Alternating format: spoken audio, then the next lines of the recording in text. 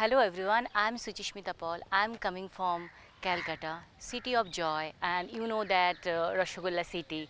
So I'm professional working as a MNC organizations. I'd like to summarize in my personality like a three words. I'm an individual, I'm a very passionate and I'm, I'm a very simple person. I am very fortunate uh, to be a, by loving a husband and beautiful son. Thanks to Mrs. India Worldwide Haut Monde. They providing me such a great platform where I can improve myself. Also, I have learned lots of knowledge in terms of beauty and skill.